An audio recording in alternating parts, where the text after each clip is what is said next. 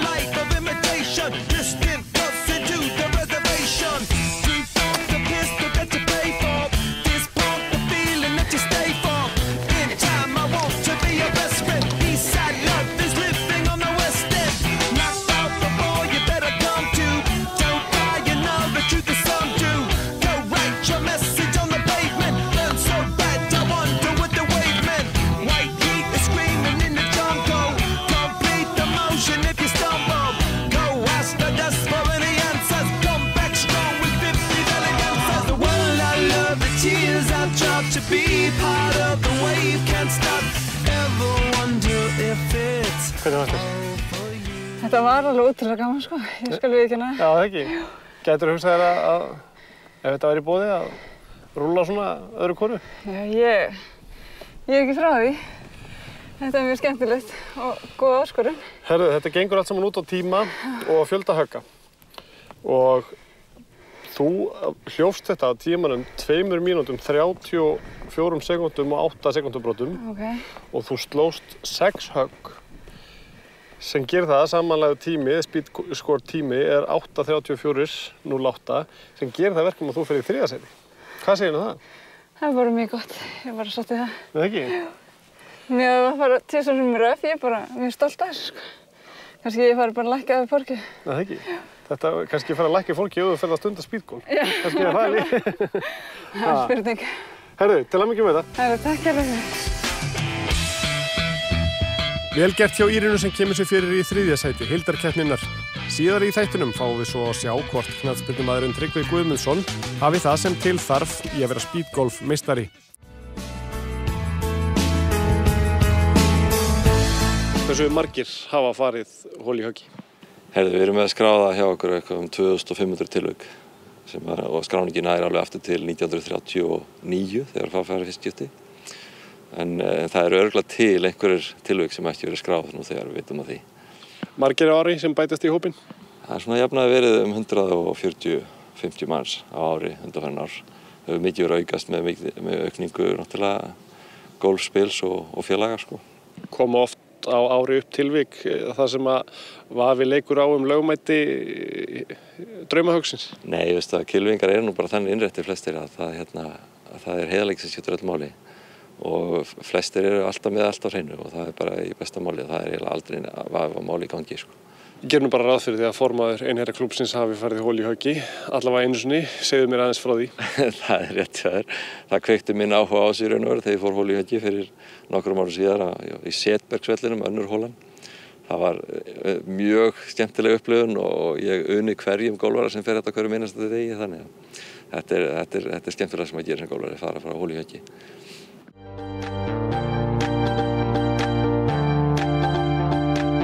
Ég er í tómum vandræði núna. Já, sumir myndu kannski reyna að slá þetta. Ég veit En ekki, það er að hótt í því. Þetta að vera með 64 gráðar eða eitthvað. Og þá var ég tæpur. Hvað ger ég núna? Já, ef þið líst ekki á að slá hann, þá máttu dæma hann óslávanlegan. Það kostar þið náttúrulega eitt högg, en það bjargar þér líklega frá, frá því að vera hún í klettunum. Og, og þá hefur í rauninni þrjá kosti, tæknilega. Sá fyrsti er að endurtaka höggið sem í þessu tilfelli væri þá að fara aftur á tegin. Ég reikni ekki með að þú viljið það. Nei. Og þá eru tveir aðrir möguleikar. Annar er að láta boltan falla á beina línu frá flaggstönginni í gegnum staðin þar sem boltin liggur núna, eins langt tilbaka og, og, og þú vilt. Eða mæla tvær kilvulengdir frá boltanum, ekki nær hólunni, og láta hann falla einhver staðar á því svæði. Herðu, þá nota ég bara dræfurinn, Já, lengstu, lengsta verkværið. já, já, það gefur þér mesta plássi til þess að láta boltan falla. Og þá velum maður þessi stað sem er svona álitlegur. Já, og ferð ekki nær hólu. Merki hérna. Og þaðan, á þessum, þessum stað má ég láta Já, falla. tvær kilvulengdir í rauninni frá boltanum, bara ekki nær hólunni, sem er Akkurat. það í rauninni hálringur. Hálfhringur. Já, og lætur hann falla einhver staðar á því svæði.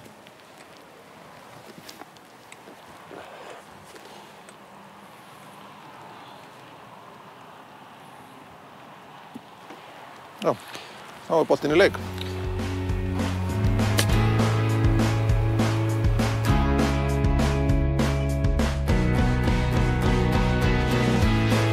Gísli Svinnbergsson er 17 ára gamall nefandi í Flensborgarskólanum í Hafnarfyrði.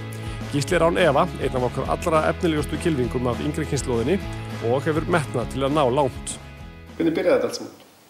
Heyri, þetta byrjaði með, þetta byrjaði allir í Þólásum. Á þeim góða stað, amma og afi. Ég var sérst mjög oft hjá amma og afa um helgar og þau svona kipti mér í gólið. Manstu þegar hann kom heim með golfbakteríuna? Herði, já, ég man eftir því, hann hérna, ég held að hann hefði fengið fyrst eh, semst svona plastkilfur litlar og hérna, hann varði öllum stundum með þeim og hérna, og þá sá maður strax eh, hérna söfluna líku við. Hvenar fórstu að hugsa og hvað varstu gamall þegar fórstu að hugsa eh, ég get bara hreinlega lagt þetta fyrir mig í framtíðinni? Ég var kannski svona 10-12 ára þegar maður fór að horfa á tækja út í fyrsta skipti. Þannig að bara sá maður bara þvílíka fyrirmynd og bara góðan karakter en já, það var svona það sem að, það sem alltaf byrjaði sko. Er hann ennþá þinn uppáhaldskilvingur? Já, þrátt fyrir erfiðleika í persónu lífinu sko, þá, þá er það ennþá sko. Það breytist aldrei. Já, herði, hér eru eitthvað golfsett. Sí. Það er eitthvað, eitthvað að gólsutum. Átt þú eitthvað að þessu eða strákurinn allt? Ég á nú eitthvað að þessu sko, en það vill þannig til að hérna, ég er svo, svo óöppin að vera örfendur sko. Já, ég skil þig. Þannig að ég, hérna, ég get... Þú erfir er- ekkert. Það er nóg til af settum, en, hérna, en ég hef ekki fengið að erfa neitt á hann sko. Já, já. Þú spila eða ekki? Þú, Jú, jú, þið, ég er bæði. Er að reyna, reyna það, svona eins og ég get. Og hvernig gengur? Gengur bara þokkalega sko. Hmm. Mér finnst þetta allavega alveg rosalega gaman og hérna, og, en mér finnst alveg hrikalega gaman líka að vera að fylgjast með honum og, og vakna snemma og lauga þetta smotni og keira hann í eitthvað gólmót og, og lappa með og fylgjast með. Hvernig karakter er hann? Hann er eh, mjög svona yfirvegur og rólegur, uh, skemmtilegur og hefur góðan húmor, bæði fyrir sjálfum sér og öðrum. Og hérna,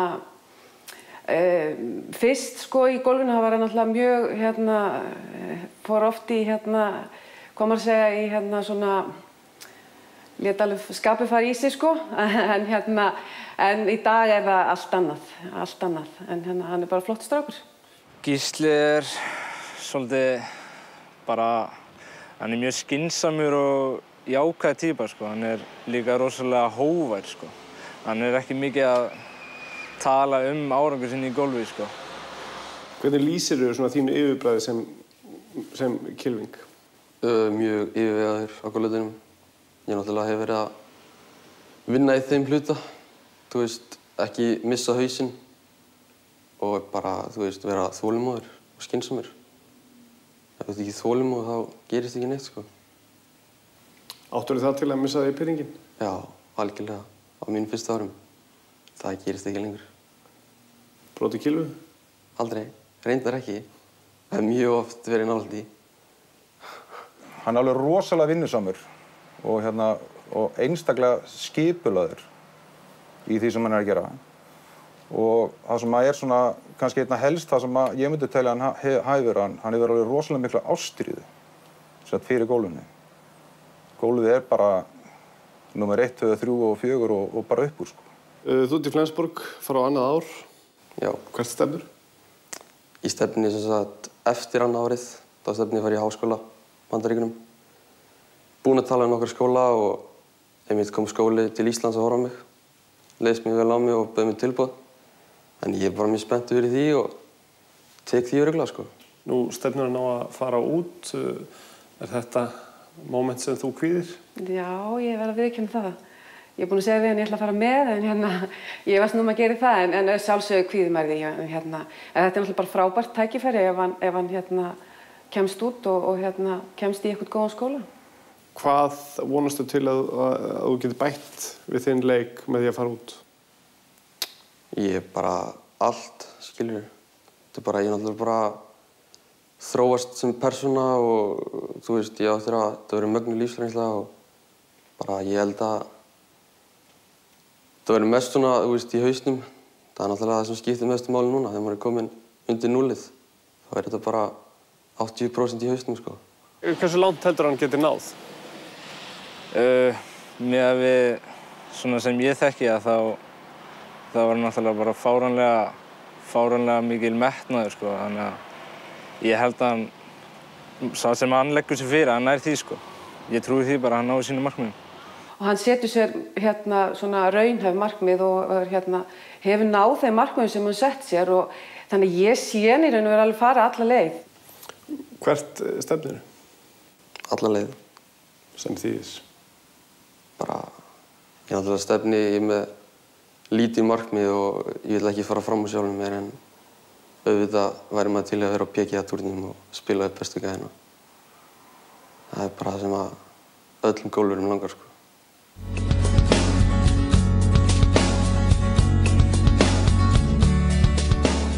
Þetta hérna er engin vennlegu púter, eða heldur kannski græjan sem er á púternum. Ég er hérna með Einari Ling Hjaltasinni.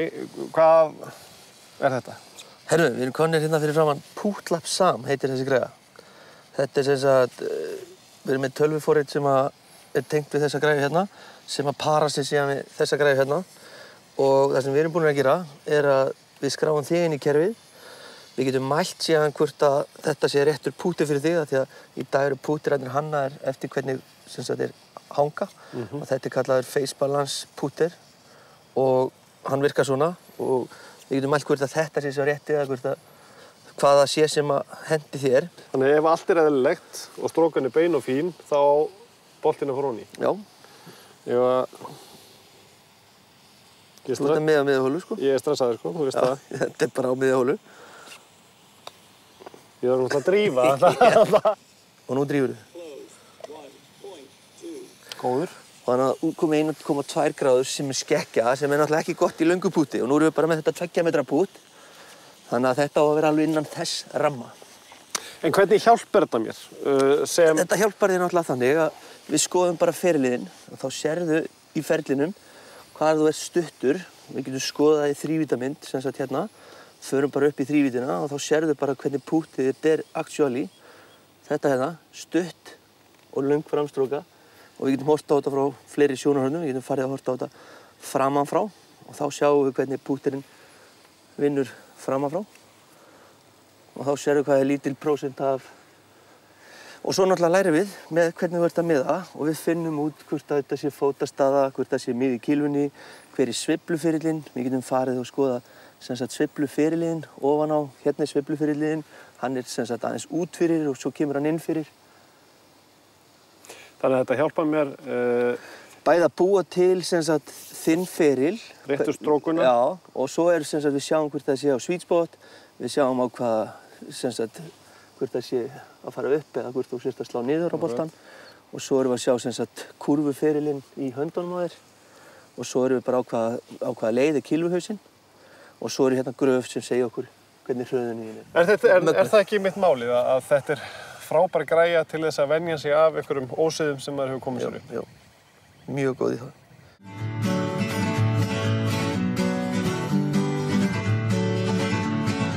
Já, vinnu minn, leikskipulag.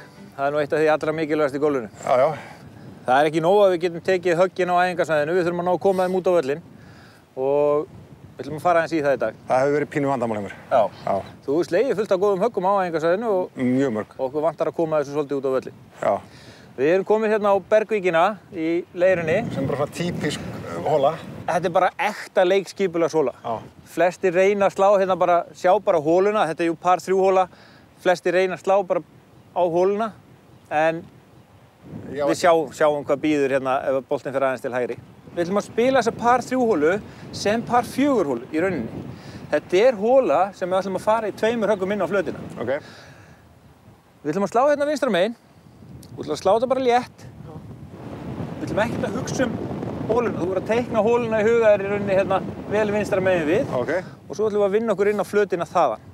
Já, ok. Já, ímynda mér hóluna þarna. Þú þarf að, það er líkilatri, líkilatri. Nákvæmlega. Ekki, því að ef, oft þegar við förum að miða hérna vinstra megin, Já. vitum á hólunni þarna, þá förum við ósjálfast að hjálpa boltanum í átt á hólun. Já, þetta kannast ég. En það ekki? Jú. En við ætlum að, hérna, í rauninni, slá bara, teikna því í hugaðir, pinnan þarna vinstra megin, Já. slær boltan þangað og svo bara í róli hittunum. Ég miða bara mannin þannig sem er að labba með kerruna. Já. Ég byrja ekki að drífa Nei, mig, meira þá- vinstri, meira þá- vinstri, meira Já. vinstri. Á kerrurnar þarna tvær í rauninni. Já, ok. Þetta er bara perfect. Nú ætlum við að fara nýri til Yes! og, og við ætlum að vippa þessu upp að pinna. Ekkert annað. Vel ger. Í rauninni að fyrsta sem við þurfum að hugsa um, Já. hvar er boltinn okkar að fara að lenda?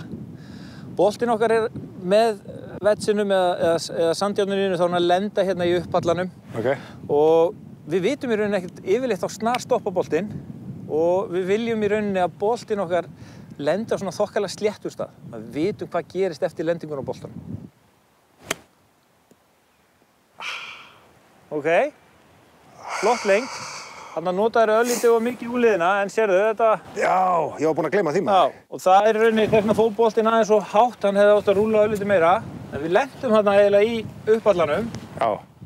En fínt högg, við hefum hann að góða möguleika á að fá par og par á þessari hólu er, já, ég myndi alltaf taka það ef að, ef að mér. Þá ætlum ég- þá ætlum ég að gefa þér það. Takk.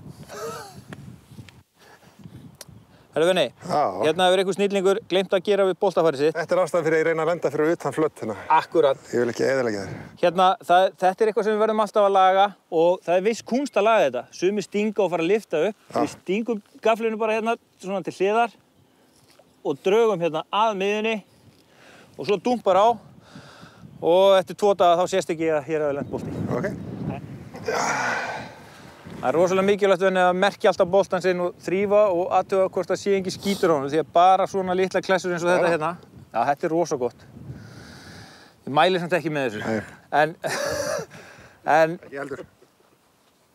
bara upp á að sé ekki skítur því að bara lítið sangkott getur gjössalega að drepa pútið þitt. Ég var náttúrulega ekki að... Ekki hvíta, ok.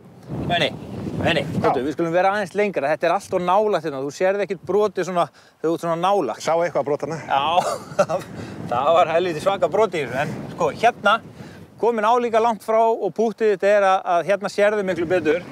Og hvað, Það er bara hvað sérðu í þessu? Ekki neitt. Ekki neitt? Nei, nei, þetta er bara beint. Er þetta beint? Já. Já, þetta var nákvæmlega saman stað þú sagði, sagði mér að sitja nú. Það var ekkert þessi. Venni, boltiðinn, hann var allt og mikið hæra megin. Já, sennilega. En þú átt þetta fyrir fjórum högum eins og við spiluðum þetta Já, ég og þú klikk. fær tvo púnta fyrir að fá fjóra. Vertu er nú, Það er rétt.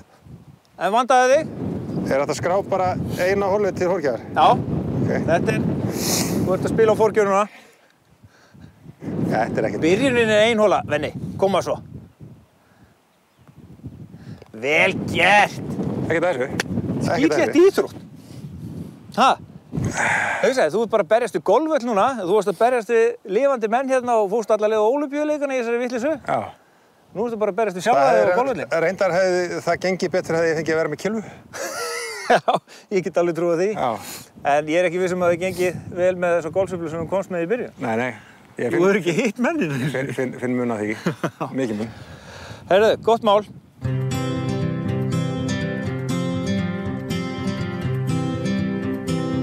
Ég heiti Guðjón Þórðarsson og er knæspundin þjálfari. Uppáhald sóla mín er hóla 2 á Garðavelli.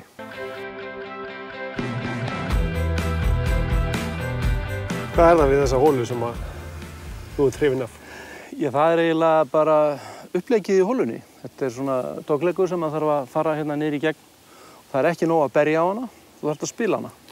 Og það er nú eiginlega það sem er svolítið svona skemmtilegt við hana. Að, að, það fyrir eftir veðri og vind um hvernig hún er og hvernig hún fer með þig. Og síðan er sko fyrsta högg að, að passa það að þú sért á réttum stað. Og inn á höggið þarf að vera í lægi og hún refsa þér eða þú stóð langu, þá ertu í trjánum, þá ertu stuttu, þá ertu að tapa þessu. Og svo náttúrulega tré og hindranir hérna sikkur um megin, þannig að þetta tekur svolítið í. Ég tók hérna hérna þrjú trí, er ég... Ei, sko, eins og, eins og sko, ef, ef þú slærið eins og æfingarsveiflaðin var hérna, þá endar upp í Akrafjalli. Þannig að það er, ég veit ekki, sko, en, en þú ert náttúrulega það góður, ef þú skerð hérna yfir, yfir grenitrína, þá ertu í fínum málum, en þá ertu líka bara komin í börnið síns og vippað inn og stöngin inn fyrir góðan spilara. En fyrir svona hlungu svo mig, að þá, þá er þetta kannski heldur erfiðara. Stöngin inn hljómar vel, við skulum bara leggja í hann. Við sjáum hvað setur. Já.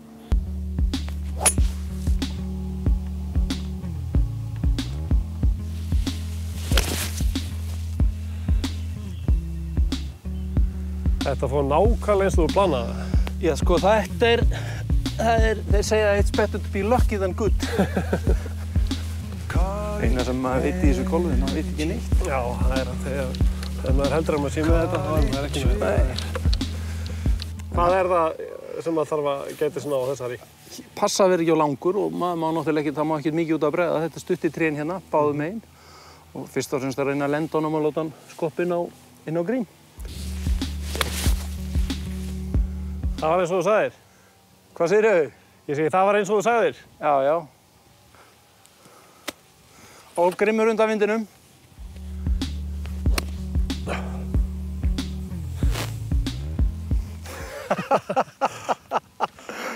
Ég hef betur hlustað á heimamanninn. Ég sérstaklega eftir að sást hvað ég gerði. Já, já. Hvenær byrjaði það svo í gólfi? Ég byrjaði 97. Þá gerðist það að ég tók að mér svona, eins og menn segja, hlutastarf.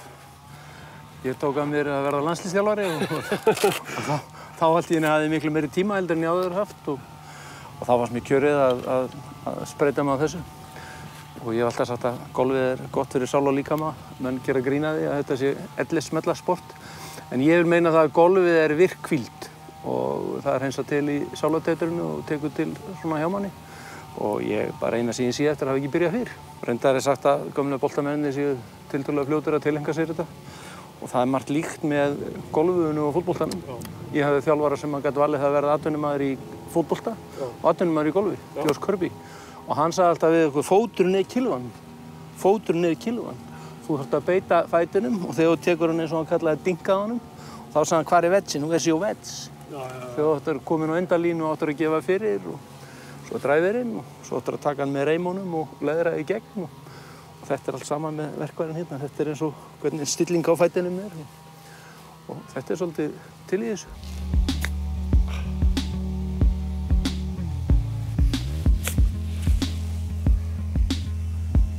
Það er algjörður um ekki. Þá tekur bara pútkeppnin við.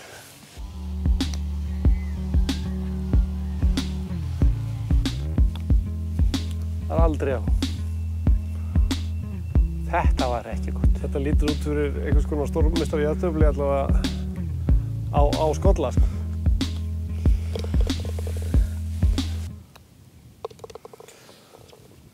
Herðu, þetta var gott. Ef þú ekki verið jákvæður segja þetta hefur verið góðu skolli. Jú, þetta var góðu skalli. Það var nákvæmlega málið. Og falleg hóla. Flott hóla. Að, En þrátt fyrir varnaður orð fórum við báðir Já, hérna já, já. og langt. En, en það er fegurinn þessu hólu. Hún getur tekið misjaflega á móti þér. fegurinn við hólinn og íþróttina. Já. Ég þakka þér kjærlega. Mjög ránaðin. Takk fyrir.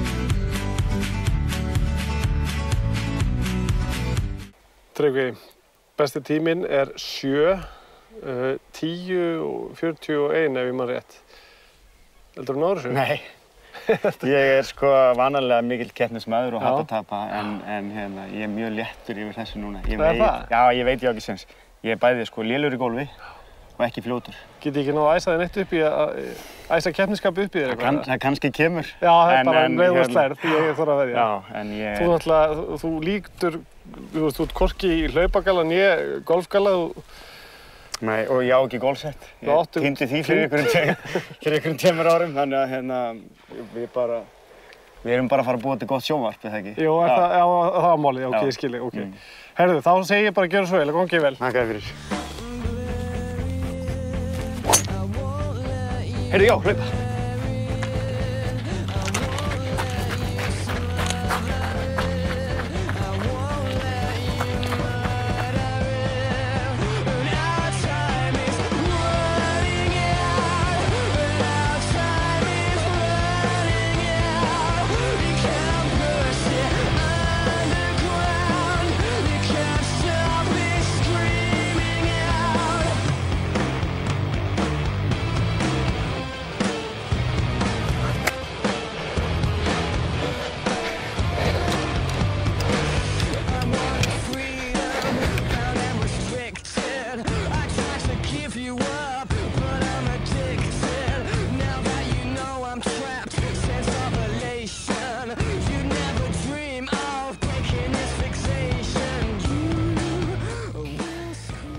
að tala um það áðan að, að þú væri slæmur í lærinu, það hefur haldið? Já, já, ég er góður í þessu, sko. Það var leikur í gær, Það var leikur í 90 gær. mínútur og maður er svolítið gammal. Já, já, það er. Herðu, sko, þetta gekk nú ágætlega hjá þér, svona allavega framan af. Já, svo ég þurfti að taka víti. Þú varst að taka víti. Já, ég sett hann út í Það hérna. kostar þig auka mínútu, hvað er minn? Já. Tíminn sem þú náðir var 2 mínútur 39 og 90. Þannig að það í sjálfu sér er nógu Það í sjálfum sér er bara, bara vel af sér vikið. Já, takk fyrir það. Þú fórst á sjö höggum. Já, það er verra. Það er aðeins verra, en uh, samanlagt eftir þá 9.39.90 speedscore, speedscore stigum. Uh, og sem setur þig svona í hildakjarninni svona cirka bát í, í miðuna. Já. Ég er á, hérna, mjög hrifin af tölunni níu, þannig, þannig að þetta Það- hljómar ekki? Níu, þrý, níu. Herðu, gott mál, takk fyrir þetta. Takk. Tryggvi kemur sér fyrir um miðja deild. Í næsta þætti fáum við að vita hver er uppáhalds golfhóla Ólafar Marju Jónsdóttur. Við kynnumst Gunnhildi Kristjánsdóttur, Kilvingi og GKG og margt fleira.